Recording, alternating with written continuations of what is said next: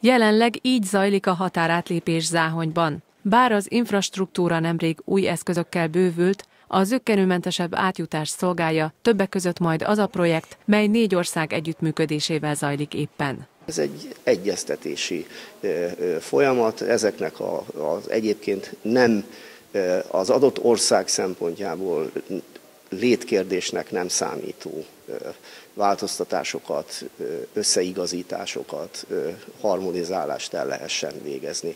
Ez, ez nálunk is így van, és hát látjuk, hát aki átjár az ukrán magyar határon, és néha a román-magyar határon is, hát látja, hogy, hogy abból az egyszerű tényből, hogy Schengeni határ van, vagy abból a tényből, hogy egy harmadik ország, egy Európai Unión kívüli országnak a, a, a közös határt kell átlépni, ez milyen administratív nehézségeket jelent. És ha még építeni is kell valamit, ami, aminek át kéne haladni a egyik országból a másikba, akkor még sokasodnak ezek a problémák.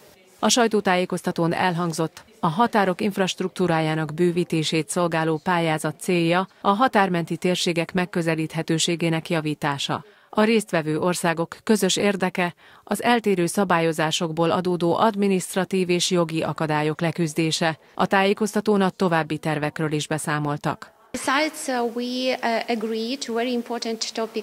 uh, a mobilitási tervbe nagyon sok jó és bámulatosan jó ötletet szeretnénk elhelyezni, és valóban különböző fontos kérdésekről beszélünk, például légi összeköttetés a régiók között, illetve reális módon hogyan lehetne a vízi közlekedést is javítani, és mindezekről nagyon jó ötleteket hallunk.